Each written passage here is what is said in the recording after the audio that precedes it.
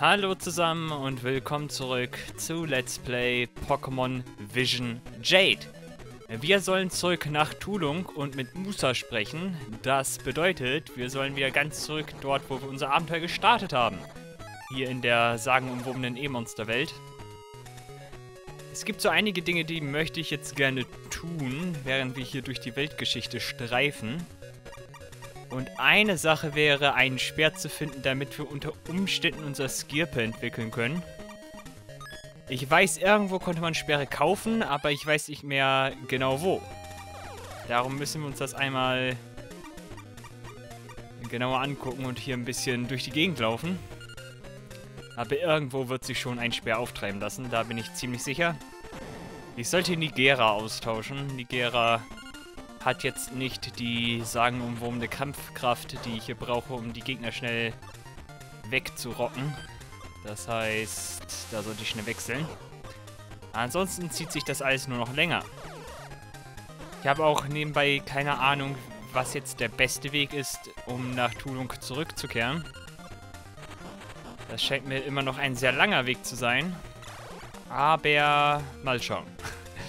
mal schauen, mal schauen, mal schauen. Hier war nichts, verdammt. Ich wollte zum Baum hier in, im Wald hier, in dem, in dem, äh, wie heißen die nochmal? Äh,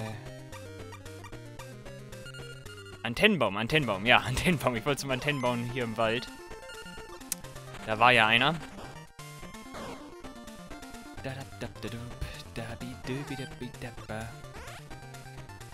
Ja, wo gab es den Speer? Ich versuche mich ja daran zu erinnern. Ich meine, den gab es beim T-Schimmelpilz-Turnier. Das ist ja auch nahe der Wüstenstadt. Der Wüstenstadt, ja. Der, der, nee, nee, der Wüstenstadt. Also, ihr versteht schon. Der Wüstenstadt. Der Wüsten, Wüstenstadt. Vielleicht wird diese Episode eher daran sich orientieren, dass wir uns für das, was noch kommt, stärken. Das könnte ich mir vorstellen. Dann sind wir für den Rest des Spiels gut vorbereitet. Ich bin ziemlich zuversichtlich, dass hier nicht mehr viel kommt. Aber wer weiß, ich habe das schon häufiger gesagt und es geht einfach immer länger. Hallo Beck, wenn im Verwirrungswald den Weg verloren hat, soll man sich mit Kraft die Reihe nach Westen, Süden, Norden drehen. Mann mit Tempo soll sich Süden, Westen, Norden drehen. Du sagst zu mir, ja, Verwirrungswald. Das nenne ich auch mal eine tolle Bezeichnung. Eine sehr tolle Bezeichnung für die verlorenen Wälder. Der Verwirrungswald. Der Verwirrung. Ja, das scheint ja dann das neueste Gebiet zu sein, wo wir hin müssen.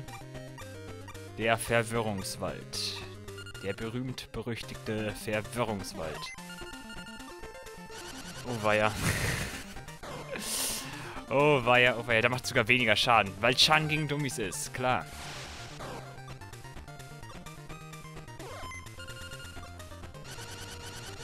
Zack. Ach komm, einen noch. Ich könnte am besten vielleicht Rasen vorschicken. Rasen ist auch häufig dran, das ist vielleicht doch besser. Dann muss ich gleich nochmal wechseln. Und zwar nach diesem Kampf. Er ist umgehauen, tschüss und bye bye und boah, Geld und Erfahrung, toll. Falsche Taste.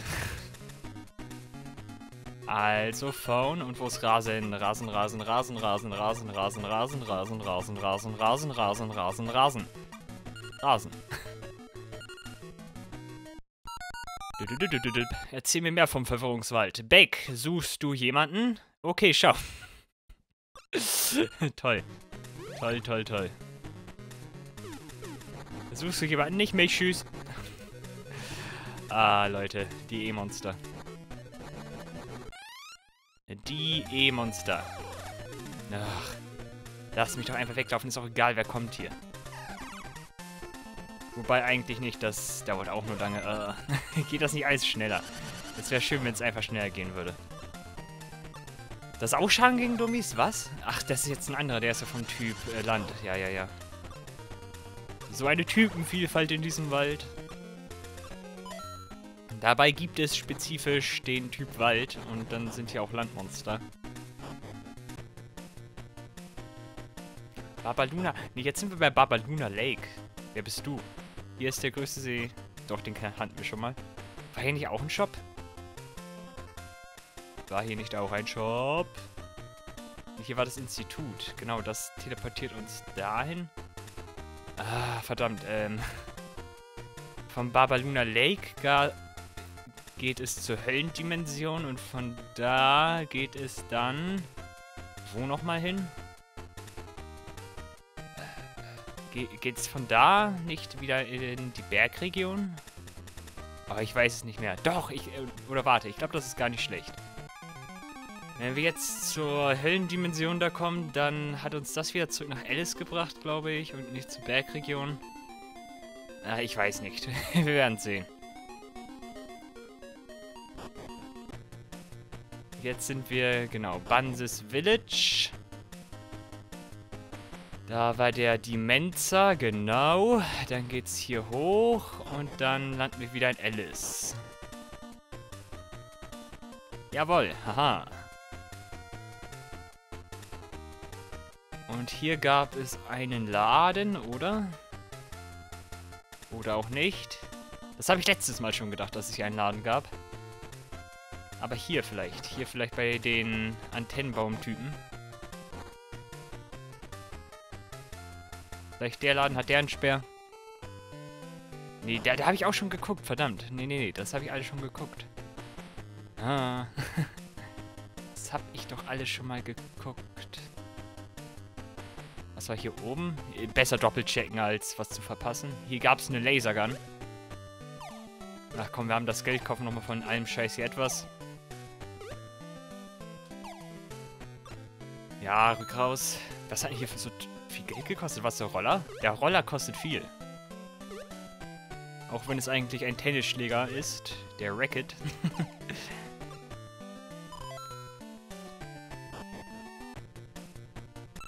Ach, wer ist das? Banda. Der ruft häufiger, oder? Unter der Weichkastanie. Plötzlich, was? Hat man als Kind schon gelernt? Vergessen. Wenn nicht, dann gibt's Probleme. Jetzt droht er mir. Jetzt droht der Banda mir. Ich habe ihn verärgert. Oh, oh, oh. Nicht gut, nicht gut. Nein, nein, nein, nein, nein. Oh, weia. Was habe ich mir da bloß wieder aufgeschwatzt? Kelina. Was war jetzt nochmal Kelina? Ach ja, das war das mit der Pharmazeugfirma. Warum habt ihr denn hier keinen... Jeder hat einen Sperr gefühlt, aber nicht der Laden, wo ich gerade bin.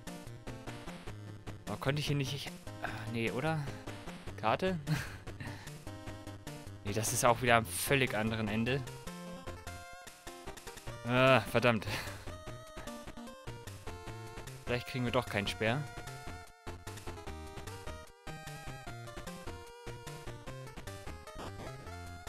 Vielleicht kriegen wir doch keine Speere. Tulung Village. Wir können ja auch erstmal mit Musa reden. Ich weiß ja nicht, wo der uns doch hinschickt.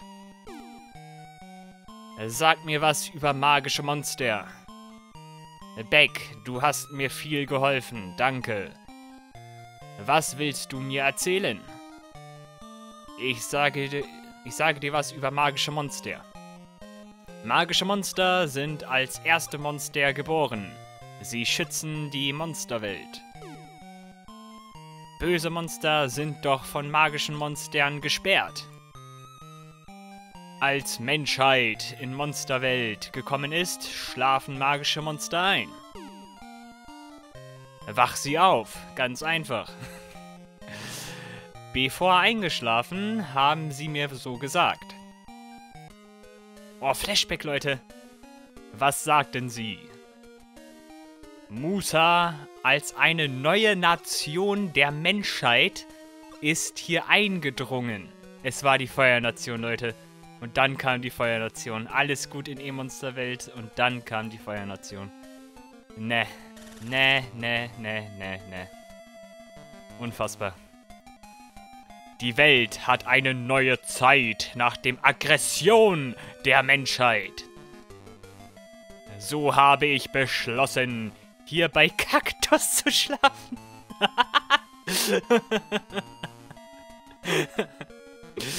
oh, es ist am Ende nicht der Baum des Leb Lebens, es ist der Kaktus des Lebens. Wow. Hier bei Kaktus zu schlafen. Schön. Magische Monster sind wegen uns verschwunden. Nicht so ganz. Aber die Vorhersage ist zur Tatsache geworden. Musa, wissen Sie was über Sanarba? Sanarba ist ungewöhnlich geworden.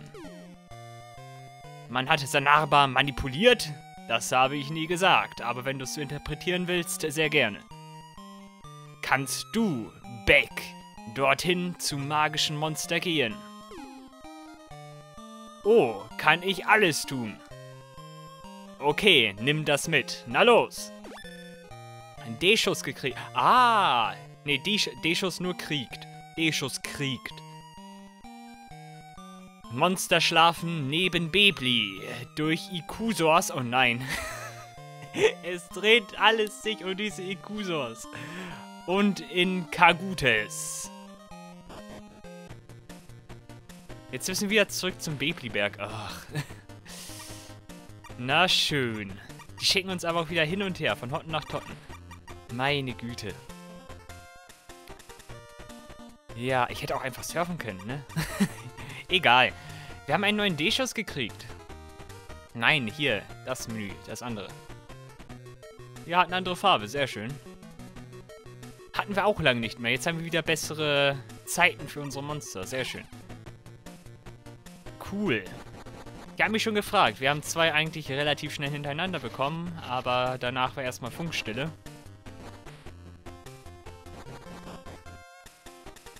So, jetzt aber trotzdem. Ich will meinen mein Speer finden. Zur Not muss ich noch einmal hier durchsurfen. Ich weiß auch, wo wir hin müssen, da die eine Stelle am Bebli-Berg, die uns, die uns verwehrt war. Durch so ein komisches Punika-Dingens. Das sollte jetzt frei sein. Dass wir da weiter können. Ja, ja, ja, ja, ja. Äh, ein Ottifant, ist ja alles klar. Ja, wir haben, glaube ich, dezent bessere Zeiten, sollte so sein. Zack, Schlitz. One-Shot, wunderbar. Danke, danke, danke.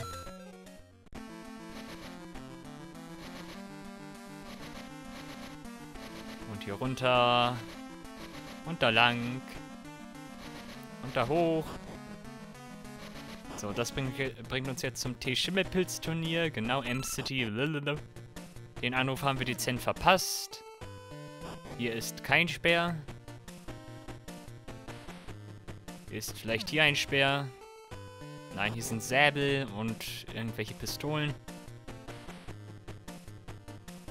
Was war hier? Auch kein Speer, verdammt. Den konnte man doch irgendwo kaufen. Vielleicht hier unten. Hier unten bin ich eventuell nicht hingegangen. Nee. Verdammt. Verdammt. Gehen wir nochmal zu den Schlangen und Vögeln. Aber da war ich auch schon. Da war ich auch schon. Nein, ach verdammt, blöde Türen. Dass man nicht unten rauskommt, wenn man hochgeht. Hier gab's Äxte. Ja genau, da habe ich was von Castlevania erzählt. Das ist einfach nur ein Haus. Aber ich muss irgendeinen Shop übersehen haben. Bin mir so sicher, irgendwo konnte man Speere kaufen. Oder bei Tulung doch auch nicht, oder? Nee, Tulung kann auch nicht sein. Hm. Hm, hm, hm, hm, hm. Ach, komm. Ja, ja, ja, ja, ja, ja, ja. ja, ja, ja, ja, ja, ja, ja.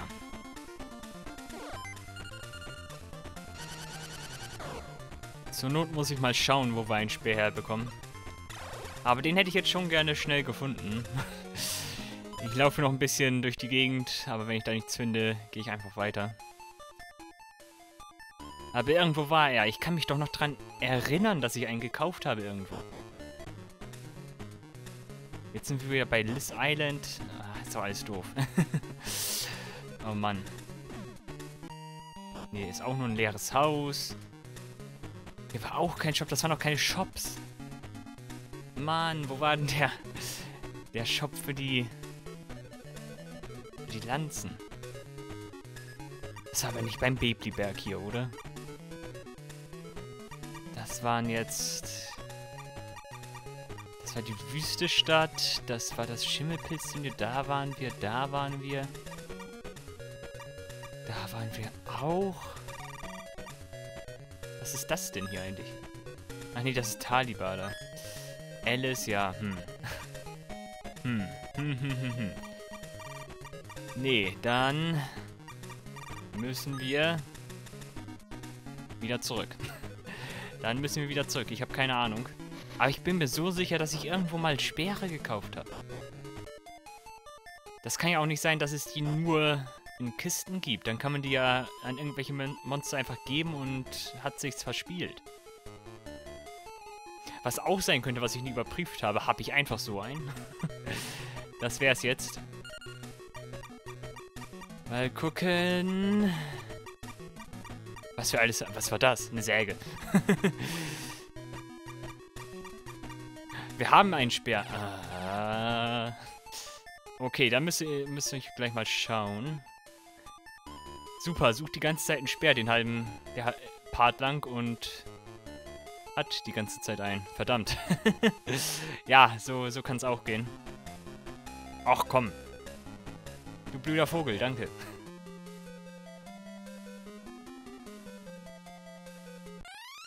Da muss ich immer an Secret of Mana denken, wenn mir irgendwelche random umherlaufende NPCs den Weg versperren. Ich meine, die gibt es in so ziemlich jedem klassischen RPG. Irgendwelche Leute, die dir dann einfach im Weg stehen. Aber am prägnantesten hat sich das bei mir eingebrannt bei Secret of Mana. Dass wieder irgendwelche Leute vor die Nase laufen.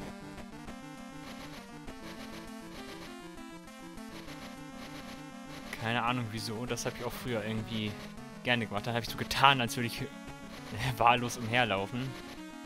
Hab dann irgendwie, meinem Vater stand ich dann in meinem Weg. War immer ganz witzig.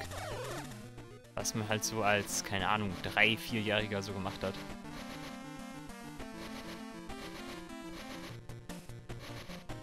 Fand ich sowieso immer witzig, dass sie einfach planlos da umherstreifen. Ach ja. Was man nicht früher alles witzig fand. Jetzt gehe ich nochmal ganz schnell hier in den Laden. Ich speichere vorher und dann... Moment, erstmal, erstmal brauchen wir Skirpe vorne. Erstmal Skirpe und dann probiere ich das mal mit der Entwicklung. Skirpe... Da. Oder Kingpin, Entschuldigung. Kingpin. Entschuldigung. Ja, gibt es einen Kai. Kai Pflaume. Der ist auch so unvollziehbar wie Sanarba. Wer ist Kai? Sagt mir, Leute, wer ist Kai? Wer ist der ominöse Kai?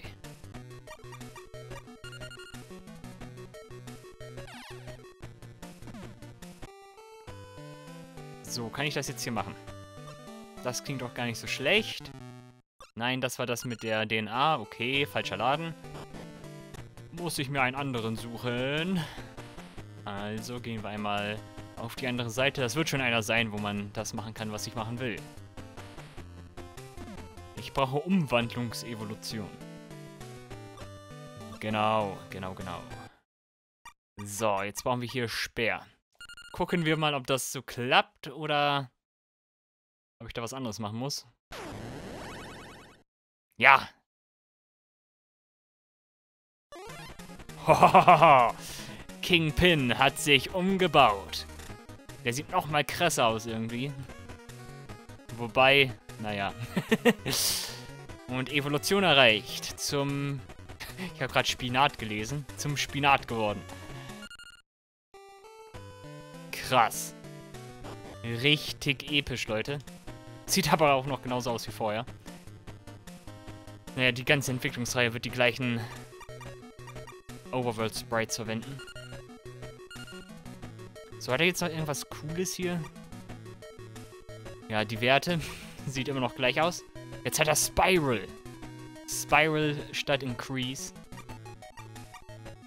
Jetzt ist er auch ein MacMon.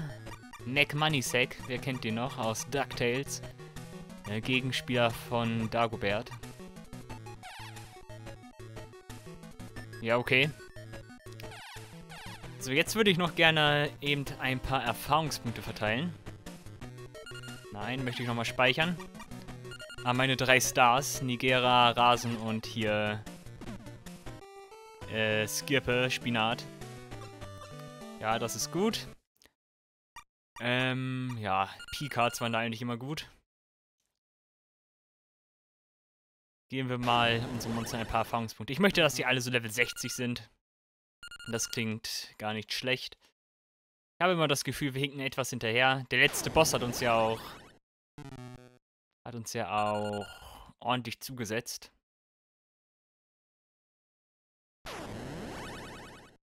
Ach, das geht gar nicht weiter als 999. Ah, muss ich schnell einen Kampf machen. Kampf, Kampf, Kampf, Kampf, Kampf, Kampf, danke. Ja, das passt schon so. Ich brauche keine anderen. Das kann ich ja auch machen, das vergesse ich auch immer. Ach komm, musst du jetzt fliegen. Ah.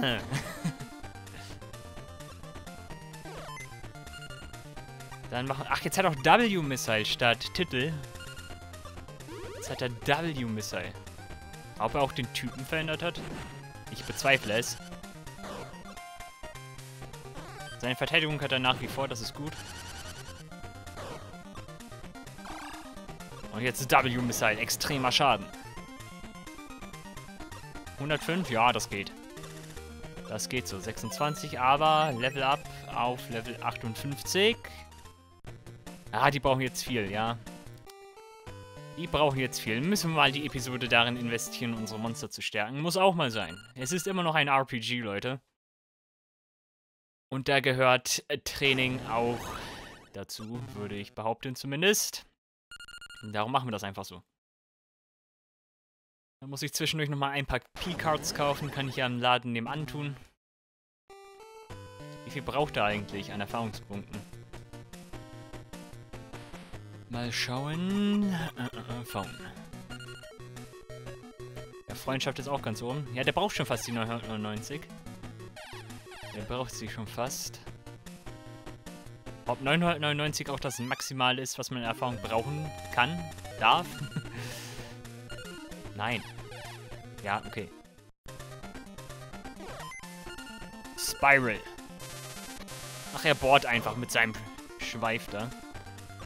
118, wow. Er war schon gegen Profis, okay. Verstanden. Jetzt hat er schon über 100 Fendt. Geil. Was ist das eigentlich? Das ist die Mischung, oder? Peng, peng. Vor allem, warum hatte ich das nicht?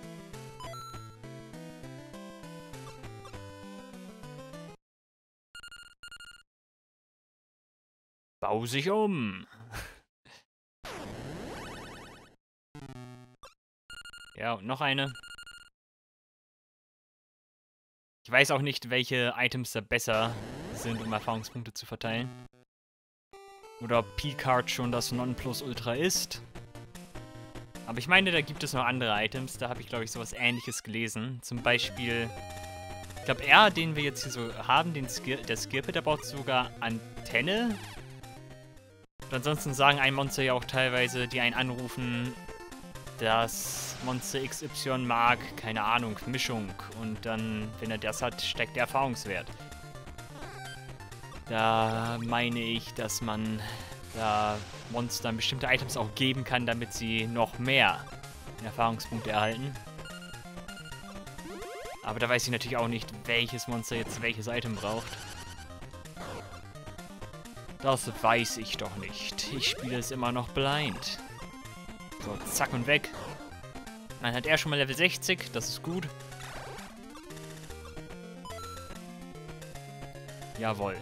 SP ist niedrig, aber ich weiß auch nicht, was SP ist. Spezialpunkte. So, dann können wir einmal wechseln. Er hat jetzt Level 60 und 915. Geht das überhaupt bis Level 99 oder 100? Hm. Wenn 99 Erfahrungspunkte das Maximum ist. Huh.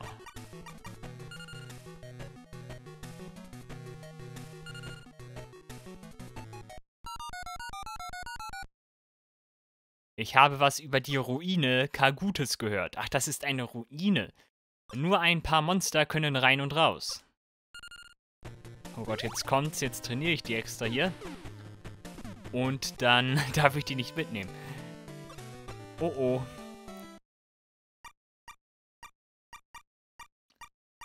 Irgendeiner hat auch gesagt, dass Antenne, glaube ich, im Allgemeinen sehr gut ist. Dann probiere ich das einfach mal.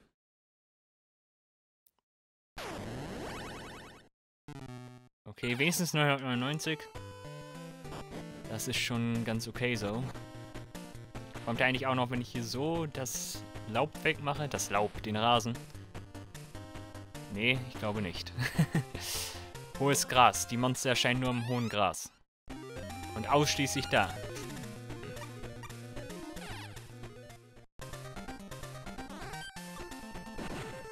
Shaver.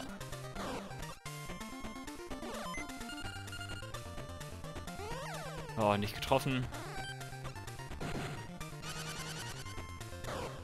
Ich muss auch sagen, das dauert auch relativ lang mit dem Trainieren. Das hätte ich mir etwas schneller vorgestellt. Aber ich darf ja nicht vergessen, dass das eine Mal, als ich das getan habe mit Baseria, wenn ich mich recht entsinne, da brauchte Baseria auch pro Level Up nur so um die 300 Erfahrungspunkte. Und wenn ich es dann auf 999 hochpumpe, dann kriegt es auch schon mal zwei Erfahrungspunkte mit einem Kampf. So müsste ich das Ganze jetzt fünfmal machen, bis er dann gleich auf Level 60 ist. Das dauert dann schon länger. Von daher würde ich sagen, belassen wir das jetzt gleich auf Level 55, sollte es jetzt sein, genau. Und das gleiche machen wir jetzt noch einmal mit Rasen und dann ist aber gut. Dann ist aber gut. So, Nigera, jetzt noch einmal Rasen. Der hat Level 52 gerade mal, oder? Ich habe nicht geguckt. ich habe nicht geguckt. Hallo, Beck ist Hyogi dein Freund? Er hätte Lust an Schraubenschlüssel. Ach, wieso, wie, wie viel braucht man denn da? Ich glaube, ihm fehlte ein HP und er wollte nicht zurück. Wow. Ich bin so geschwächt. Ich habe einen Kratzer. Ah. 53, das geht ja noch. Das geht ja noch. Wie gesagt, man muss auch mal in seine Monster investieren. Bei Ruine Kagutes schläft ein magisches Monster. Ein cooler Typ.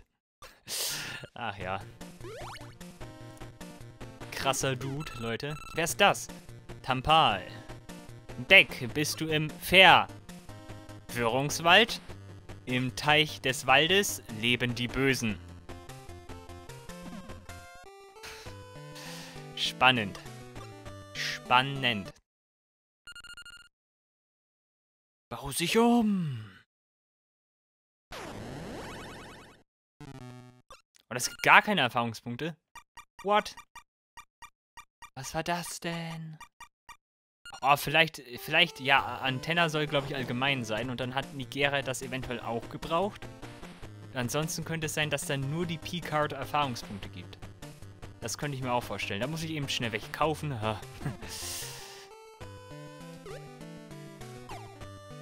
Vor allem einzeln. Ich muss das alles einzeln machen. Eins. Nein, ich möchte nicht mit dir reden.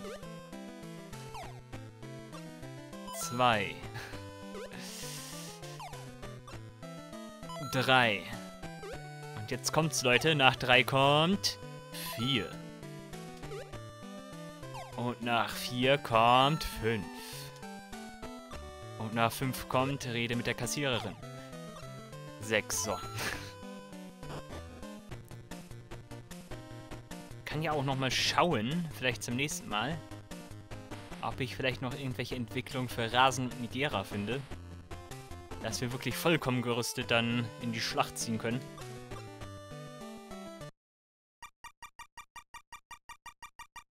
Na, wo ist es? Da. Auch ganz am Ende.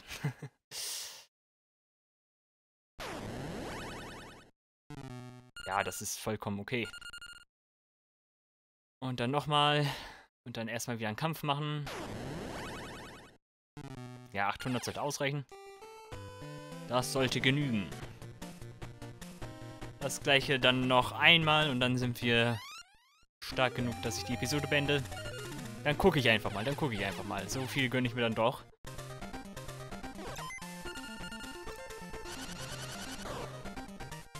Dann kann ich euch vielleicht noch so ein bisschen was entwicklungstechnisch zeigen. Ist ja auch ganz nett, wenn man dann so doch noch so ein bisschen die Mechaniken im Let's Play so zeigt. Anstatt dass ich das dann heimlich im stillen Kämmerchen mache, wenn das Let's Play schon längst vorüber ist. Es geht ja auch darum, so ein bisschen die Nuancen eines Spiels zu zeigen. Von daher finde ich, ist das ein guter Kompromiss. Ich gucke mir jetzt natürlich nichts an von wegen, wie geht die Story weiter und wo müssen wir hin und was kommt denn da noch. Das mache ich natürlich nicht. Das wird auch den Sinn und Zweck dieses Let's Plays verfehlen. So, okay. Jetzt noch einer, das war dann auch die Episode danach. Ja, haben wir uns mal um unsere Monsterchen gekümmert. Die guten alten Monsterchen. Vor allem der Rasen, so ein süßes Monsterchen. Der ist aber auch einfach gut. Den habe ich wirklich sehr lieb gewonnen. Kann ich nicht oft genug betonen und sagen. Großartiges Monster. Ein cooler Typ. Ach ja.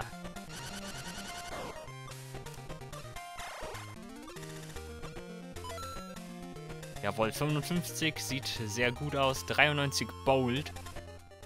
Nice.